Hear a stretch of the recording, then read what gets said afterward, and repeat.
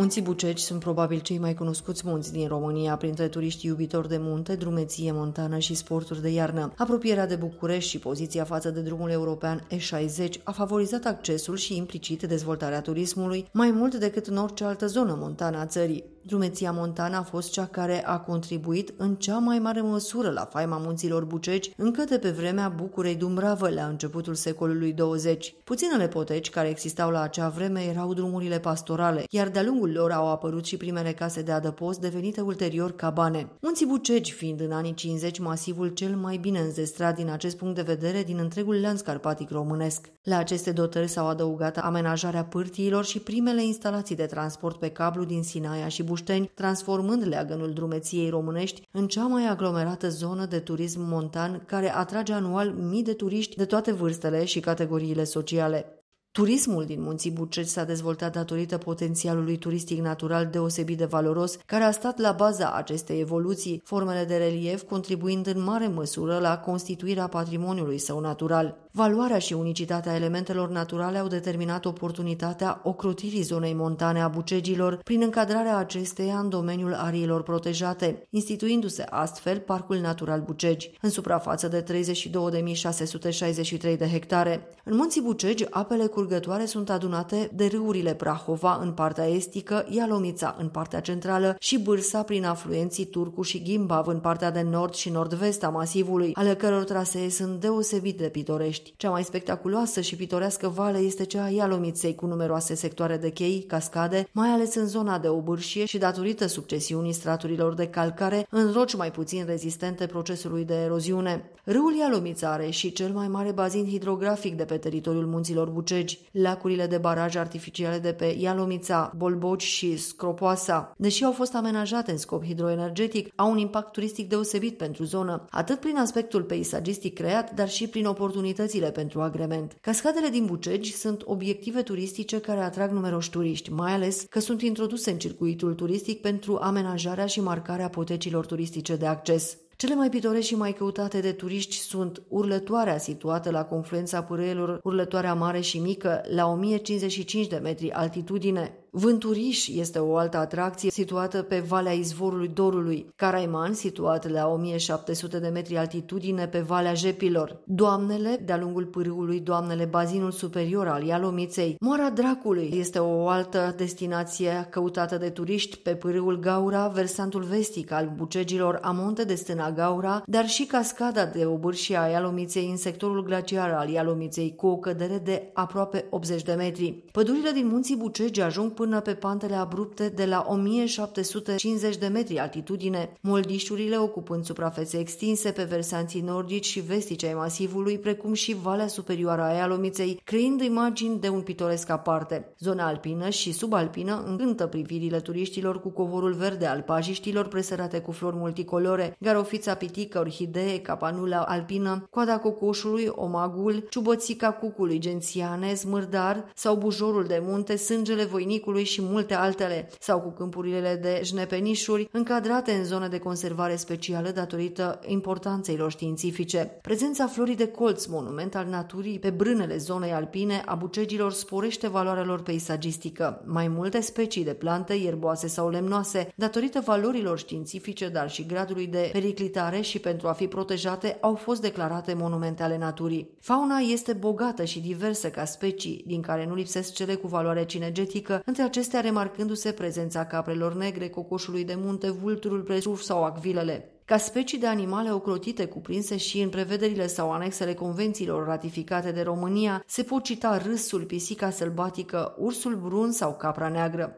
Semeți, periculoși și misterioși munții buceci sunt considerați în literatura cu preocupări în domeniul paranormal un adevărat pol energetic, de la tuneluri subterane până la guri de rai, cărări ireale și locuri foarte încărcate energetic, munții Bucegi suscită imaginația celor care le străbat potecile. Există o foarte bogată literatură de specialitate pe tema misterelor și a fenomenelor paranormale din Bucegi. Potrivit acesteia, munții Bucegi ar fi presărați de locuri misterioase, zone foarte încărcate energetic, unde aparatura se declanșează singură sau oamenii resimt simptome ciudate, portalul prin care oamenii dispar și apar în alte locuri la foarte mare distanță. Despre Bucești se mai spune că sunt presărați de tuneluri subterane de zeci de kilometri, dar și de locuri în care oamenii se vindecă miraculos datorită apei vii și a gurilor de rai. Una dintre ipotezele care suscită cel mai mult imaginația amatorilor de mistere din Bucegi este cea a existenței unei rețele de galerii subterane în interiorul Bucegilor. Teoriile merg de la o rețea care comunică pe sub pământ cu piramidele din Egipt până la existența unei baze secrete pe care nimeni nu ar trebui să le cunoască sau tuneluri construite de civilizații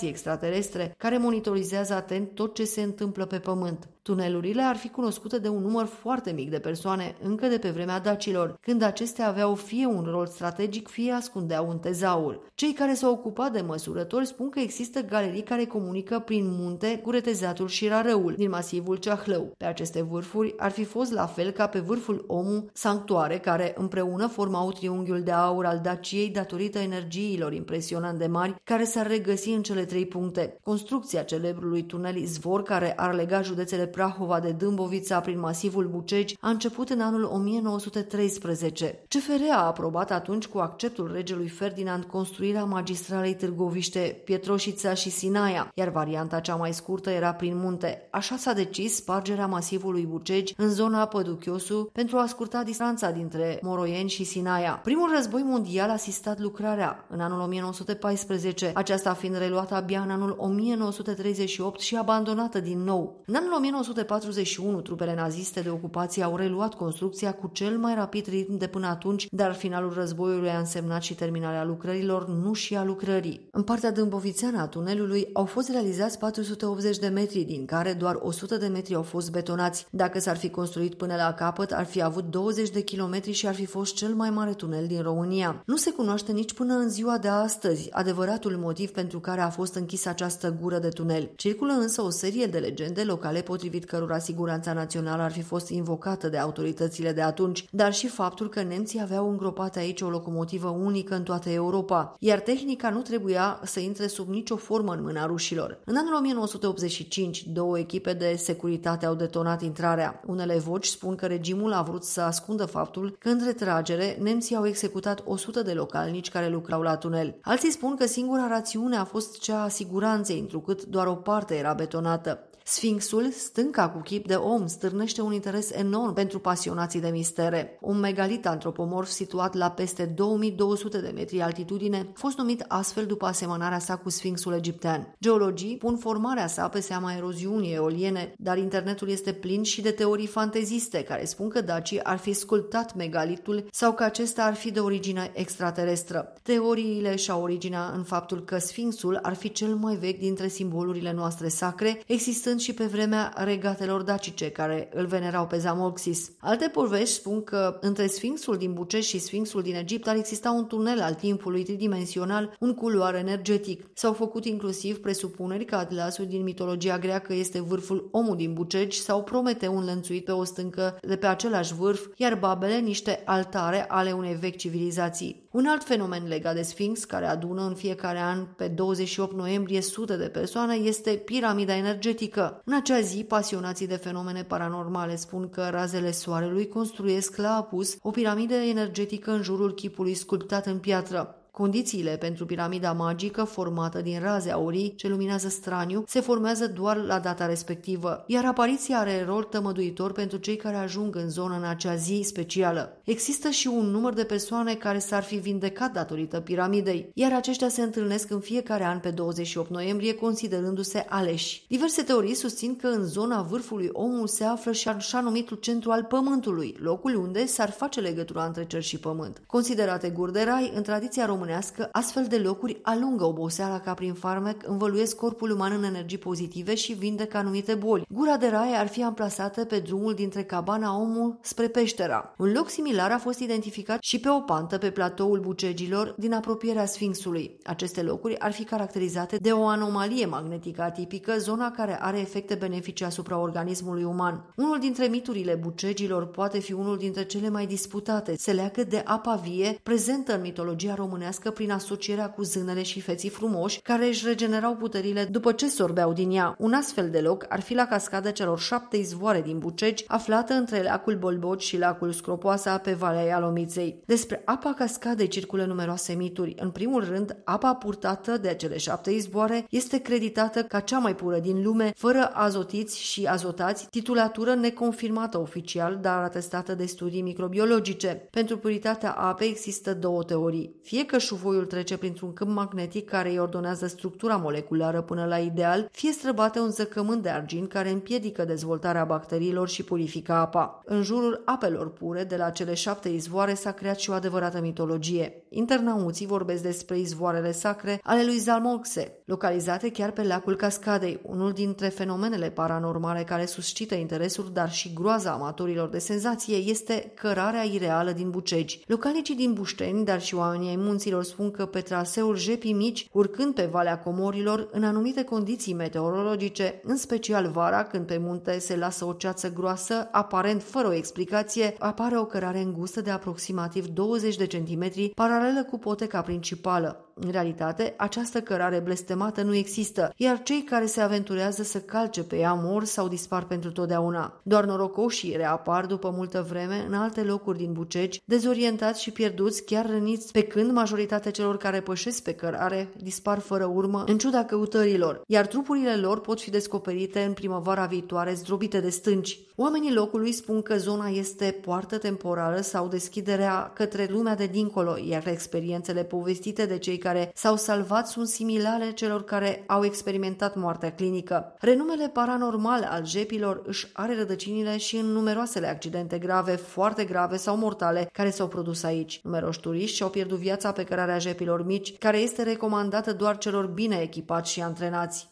Valea Albă este poate cel mai umblat traseu nemarcat din Buceci, traseu care atrage ca un magnet aventurierii. Geografic, Valea Albă separă muntele Caraiman de muntele Coștila, fiind mărginită pe dreapta de peretele Văii Albe, un uriaș vertical și pe stânga de creasta Picăturii. Una dintre cele mai cunoscute legende ale zonei vorbește despre un portal care ar exista în Valea Albă. Localnicii și turiștii au relatat despre faptul că au întâlnit în Valea Urlătorii, la kilometri distanță, oameni complet dezorientați, care fie nu știau de loc unde se află, fie credeau că se află în alte locuri, în Bușteni circulă numeroase povești despre existența unor portaluri care leagă Valea Urlătorii de Valea Albă sau de Valea Cerbului. O echipă de la Lumea Misterelor, o publicație adresată pasionaților în domeniu, a organizat mai multe expediții în Bucegi, în zonele despre care sunt relatări că se manifestă fenomene paranormale sau energii absolut inexplicabile, printre care și Valea Albă. În vale, aparatele de fotografia digitale s-au resetat din senin pentru ca apoi să-și revină la fel de brusc și inexplicabil sau se declanșau brusc și realizau fotografii fotografii foarte bune. Femeile din respectiva expediție au experimentat și stări de golire de energie, vertij și pierderi de echilibru. Alte persoane care au ajuns în Valea Albă spun că aparatele digitale s-au declanșat din senin și au surprins fotografii foarte frumoase. Un fenomen misterios cercetat tot de echipa de la Lumea Misterelor este cea a pietrelor calde de la Gura Diham. Pietrele paralipipedice, care seamănă a monumente funerare, se găseau pe drumul forestier care duce la cabana Gura Diham, la aproximativ 4,2 km de Bușteni. În preajma acestora, acumulatorii aparatelor foto s-au descărcat din senin, cu toate că erau noi, la fel și bateria de la telefon telefonul mobil sau cea de la camera video. Aparatura și-a revenit după ce grupul s-a îndepărtat de locul respectiv. Ceva mai sus, pe traseu, membrii echipei au întâlnit un pâlc de copaci, în interiorul căreia era un curent de aer inexplicabil de cald, iar pietrele erau și ele calde, cu toate că afară era destul de răcoare, expediția desfășurându-se pe finalul lunii octombrie în anul 2009. Revenind ulterior în zonă împreună cu mai multe persoane, printre care se numărau și sceptici, cercetătorii au constatat același tip de manifestări. În plus, persoanele care au participat la expediție au experimentat o golire de energie, iar cei care au atins pietrele funerare misterioase chiar au avut amețeli, pierderi de echilibru și au simțit minute bune o apăsare în piept. În anul 1993, în perioada 4 mai-10 iunie, s-au produs câteva zeci de cutremure. Există și mărturii că au fost câteva sute pentru care nu există încă explicații care să mulțumească pe toată lumea. Potrivit localnicilor, frecvența cutremurelor era zilnică și se produceau la ore fixe. Unii spun că orele erau 20 și 3 dimineața, iar alții spun că seismele se produceau la ora 20 și 30 de minute. Specific Specificul acestora era faptul că erau precedate de un vuiet puternic, ca și cum ceva s-ar fi prăbușit în interiorul munților. Seismele aveau o intensitate destul de mică, de 3 sau 4 grade pe scara Richter, însă se mai produceau la mică adâncime, 10 sau 15 km, ceea ce făcea ca zgomotul din munți să înfricoșeze localnicii. Vârful a fost reprezentat de un seism de 5,1 grade produs în zona Bușten-Sinaia în seara zilei de 23 mai 1993. Seria de cutremure a ridicat multe semne de întrebare, în